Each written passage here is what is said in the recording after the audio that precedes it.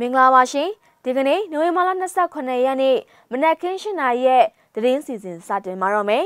ကျွန်မကတော့အစီအစဉ်တင်ဆက်သူရမုံပါရှင်ဆန္ဒပြပြည်သူတွေကိုဖမ်းဆီးထိုးကျိတ်မှုအတွက်ကြိုတင်ညွှန်ကြားထားခြင်းမရှိကြောင်းမြန်မာပလာစာအုပ်ချုပ်ရေးအဖွဲ့ကထုတ်ပြန်လိုက်ပါတယ်ဖုန်းနံပါတ်65လုံးရဲ့ပိုင်ရှင်တွေကိုငွေသွင်းငွေထုတ်ယာယီတားမြစ်ထားဖို့အတွက်စစ်ကောင်စီကညွှန်ကြားလိုက်တာပါတောင်တာမြို့နယ်ထဲမှာတော့ လူနေအိမ်သုံးလုံးကိုစစ်ကောင်စီတပ်ကမီးရှို့ဖျက်ဆီးခဲ့ပြီးနေအိမ်တွင်းမှာရှိတဲ့ပစ္စည်းတွေကိုယူဆောင်သွားတဲ့တဲ့င်းတွေအပါအဝင်တခြားစိတ်ဝင်စားဖွယ်ကောင်းတဲ့တဲ့င်းတွေကိုတင်ဆက်ပေးပါတော့မယ်။ဦးဆုံးတဲ့င်းသဘုံအနေနဲ့ရန်ကုန်မြို့မြန်မာပလာဇာအတွင်းမှာဆန္ဒပြခဲ့တဲ့လူငယ်တွေကိုလုံခြုံရေးတွေကထိုးကျိတ်ဖမ်းဆီးမှုဖြစ်ပွားခဲ့ခြင်းပေါ့မြန်မာပလာဇာအုပ်ချုပ်ရေးအဖွဲ့အနေနဲ့ကြိုတင်ညွှန်ကြားထားခြင်းမရှိကြောင်းသူတို့ကသတင်းထုတ်ပြန်လိုက်ပါတယ်။ မြမပလာဇာအတွင်းဆန္ဒပြလူငယ်တွေပေါ်လုံခြုံရေးဝန်ထမ်းတချို့ရဲ့ပြုမှုဆောင်ရွက်ခဲ့ပုံတွေဟာလက်ခံနိုင်ပွဲမရှိပါတော့ကြောင့်ထိခိုက်နစ်နာခဲ့သူတွေနဲ့အများပြည်သူများအပေါ်ထပ်မံပြီးတော့အနူးညွန့်တောင်းပန်အပ်ပါသည်အဲ့ဒီဖြစ်စဉ်သည်တစုံတရာကြိုတင်ညွှန်ကြားထားမှုကြောင့်မဟုတ်သလိုမြမပလာဇာကဝန်ထမ်းတွေစီးပွားရေးလုပ်ဖော်ကိုင်ဖက်တွေရဲ့လက်ခံထားတဲ့စံတန်မိုးတွေနဲ့လည်းကိုက်ညီခြင်းမရှိပါလို့မြမပလာဇာအုပ်ချုပ်ရေးအဖွဲ့ကဆိုပါတယ် အဲ့ဒီဖြစ်စဉ်နဲ့ပတ်သက်ပြီးတော့အသေးစိတ်လေးလာစုံစမ်းမှုတွေပြုလုပ်ခဲ့ပြီးတာဝန်ရှိသူတွေကိုအလုံးမတာဝန်ထုတ်ပယ်ပြီးတော့အရေးယူခဲ့ကြောင်းထုတ်ပြန်ချက်မှာပါရှိပါတယ်။နိုဝင်ဘာလ25ရက်နေ့နေ့လယ်ကမြန်မာပလာဇာအတွင်းမှာဆန္ဒပြလူငယ်တွေကိုလုံခြုံရေးတွေကထိုးချိတ်ဖမ်းဆီးတဲ့ရုပ်တံတွေထွက်ပေါ်လာချိန်မှာပဲမြန်မာပလာဇာအပေါ်မှာဝေဖန်တံတွေတပိတ်မှောက်မှုတွေဟာစက်တိုက်ထွက်ပေါ်လာခဲ့တာပါ။နိုဝင်ဘာလ25ရက်နေ့ညပိုင်းမှာပဲမြန်မာပလာဇာက တောင်းပန်စာထုတ်ပြန်ခဲ့ပေမဲ့ပြည်သူတွေရဲ့တပိတ်မှောက်မှုတွေဟာအရှိန်ကျသွားခြင်းမရှိခဲ့ဘဲနဲ့နိုဝင်ဘာလ26ရက်နေ့မှာလည်းအဲ့ဒီပလာဇာအတွင်းဆိုင်ခန်းအလုံးနီးပါးဟာလာရောက်ဖွင့်လှစ်ခြင်းမရှိတာကိုတွေ့မြင်ရပါတယ်။ဒါ့အပြင်မြန်မာပလာဇာ area ပတ်ဝန်းကျင်တဝိုက်မှာလည်းစက်ကောင်စီတပ်သားတွေရဲတွေအင်အားအတန်အသင့်ရှိနေတာကိုလည်းတွေ့မြင်ရမှာပါ။မြန်မာပလာဇာအုပ်ချုပ်ရေးအဖွဲ့ကလည်းမြန်မာပြည်သူတွေရဲ့ ဒီမိုကရေစီအရေးဆန္ဒတွေကိုလေးစားလိုက်နာပြီးတော့အခုဖြစ်စဉ်ကဲ့သို့ထပ်မံဖြစ်ပွားခြင်းမရှိစေဖို့အတွက်မြန်မာပလာဇာမှာလေးနက်စွာဆောင်ရွက်သွားမည်ဟု၍လည်းသူတို့ရဲ့ထုတ်ပြန်ချက်မှာထည့်သွင်းဖော်ပြထားပါတယ်။နောက်ထပ်သတင်းသဘုံအနေနဲ့စက်ကောင်စီလက်အောက်ခံဗဟိုဘဏ်ရဲ့ပေါက်ကြားလာတဲ့လျှို့ဝှက်ညွှန်ကြားစာမှာပိုးတွဲစာပါဖုန်းနံပါတ်တွေနဲ့ဘဏ်တွေမိုဘိုင်းငွေကြေးဝန်ဆောင်မှုလုပ်ငန်းတွေမှာအကောင့်တွေဖွင့်လှစ်ထားပါကပိုင်ရှင်တွေရဲ့အမည် အဘအမည်နိုင်ငံသားစီစေးရေးကအမှတ်နေရလိပ်စာ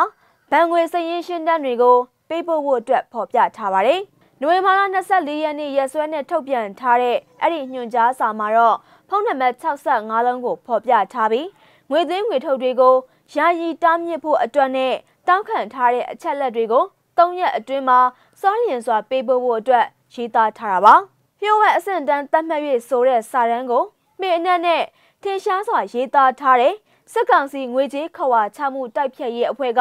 ထုတ်ပြန်ထားတဲ့အဲ့ဒီညွှန်ကြားစာကိုမြန်မာနိုင်ငံတော်ဗဟိုဘဏ်ကနေတဆင့်ဘဏ်တွေအားလုံးနဲ့မိုဘိုင်းငွေရေးကြေးရေးဝန်ဆောင်မှုပေးသူတွေကိုရည်ညွှန်းပြီးတော့ပေးပို့ထားတာပါအဲ့ဒီညွှန်ကြားစာမှာတော့ငွေကျပ်9သိန်းနဲ့10သိန်းကျော်လှူဒန်းထားတဲ့ဖုန်းနံပါတ်နှလုံး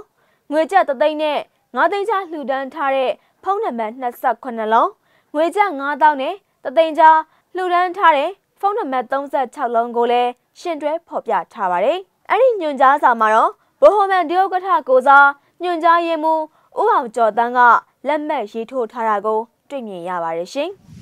။အခုဆက်ပြီးတော့မန္တလေးတိုင်းကသတင်းကိုတင်ဆက်ပေးပါမယ်။မန္တလေးတိုင်းတောင်တာမြို့နယ်လှဲကုန်းမအုပ်စုရတနာပုံကျေးရွာမှာလက်မှုပညာပရဟိတတင်နန်းဆရာဦးစောမင်းရဲ့နေအိမ်အပါအဝင် နေအိမ်၃လုံးကို စက်ကောင်စီတပ်ဖွဲ့ဝင်တွေကစစ်ကား၅စီးအင်အားတရာနီးပါးနဲ့နိုဝင်ဘာလ23ရက်နေ့မနက်9နာရီမိနစ်30အချိန်မှာမိရှို့ဖျက်ဆီးသွားကြောင်းဒေသခံတွေစီကနေတစင်သိရပါတယ်။အသက်50ကျော်ရွယ်ဦးစောမင်းဟာပယံလက်မှုပညာကို အခမဲ့သင်ပေးနေသူဖြစ်ပြီးတော့စစ်ကောင်စီတပ်ကအိမ်တွင်းမှာရှိတဲ့ပရိဘောဂနဲ့တံမိုးကြီးပစ္စည်းတွေအလုံးကိုလည်းဖောက်ထွင်းတည်ယူသွားကြောင်းသိရပါတယ်။ဒါ့အပြင်ရွာရင်းမှာရှိတဲ့နေအိမ်တအိမ်က 750တန်ဖိုးရှိတဲ့ရွှေထည်ပစ္စည်းတွေကိုပါစစ်ကောင်စီတပ်ကယူဆောင်သွားကြောင်းဦးစော်မင်းကမျက်စိမှကိုပြောကြားခဲ့တာပါအဲ့ဒီနေ့ကမနက်9နာရီမှာသမင်းထချက်နေတာစစ်ကောင်စီခန့်ရာအိမ်မူရဲ့လူတယောက်ကစစ်သားတွေခမားအိမ်ကိုလာနေပြီးပြေးတော့ဆိုပြီးဖုံးဆက်လို့ကျွန်တော်တို့သားဖ2ယောက်ရဲ့တင်တန်းသား3ယောက်ရဲ့ထပ်ပြေးရတာပါကျွန်တော်အိမ်ကတိုက်အိမ်ဆိုတော့စက်တုံဂရောင်မဲမီးတဲ့ပါသွားပါတယ်ဆိုင်ကယ်6စီးပြက်စီးတယ်ဘေးအိမ်နဲ့အိမ်ကတော့ ဝါးနဲ့ဆိုတော့ကြာကျသွားပါတယ်တသက်မဲ့မီးလာရှို့တာပါကျွန်တော်ပြန်ကြားတာကတော့ဒလန်တယောက်ကအိမ်ထဲမှာ PDF တွေရှိတယ်ဆိုပြီးတိုင်လိုက်တာပါကျွန်တော်ကမြို့ပေါ်အလုပ်တက်လုပ်မဲ့ကလေးတွေကိုအုတ်တန်ရိုက်တာတွေအခမဲ့တင်ပေးနေတဲ့အလုပ်ပဲလုပ်တာလို့သူကဆက်ပြောပါတယ်အဲ့ဒီကြေးရွာမှာတော့အိမ်ကြီးပေါင်း136အိမ်ရှိပြီးတော့ကြေးရွာအနီးမှာရှိတဲ့တော်ရင်းမှာလေကင်းပုံးတွေချထားတဲ့အတွက်ဒေသခံတွေထွက်ပြေးတင်းရှောင်နေရကြောင်း သိရှိရပါတယ်ရှင်နောက်ဆုံးသတင်းတစ်ပုဒ်ကိုတော့ချင်းပြည်နယ်ကသတင်းကိုတင်ဆက်ပေးပါမယ်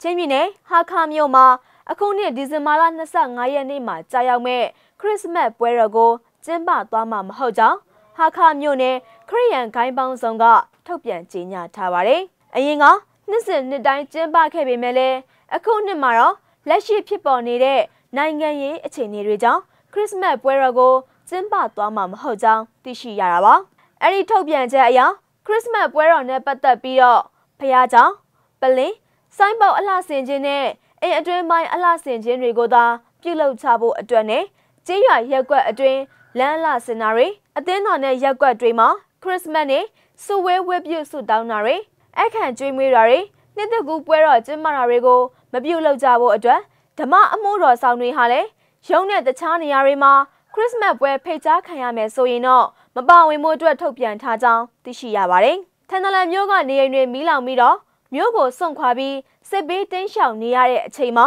ခရစ်စမတ်ပွဲတော်ကိုကျင်းပဖို့အတွက်မဖြစ်နိုင်ကြောင်းကိုလည်းအဲ့ဒီထုတ်ပြန်ချက်မှာရေးသားဖော်ပြထားတာပဲဖြစ်ပါတယ်ရှင်။နိုဝင်ဘာလ29ရက်နေ့မနက်ခင်း၈နာရီထိနောက်ဆုံးရရှိထားတဲ့သတင်းတွေကိုတင်ဆက်ပေးခဲ့တာပါ။ ကြည့်ရှုနားဆင်ပေးခဲ့တဲ့အတွက်ကျေးဇူးတင်ပါတယ်။အားလုံးပဲကျမ်းမာရှင်လန်းနဲ့တဏိတာခီကိုဖျက်ဆီးနိုင်ကြပါစေရှင်။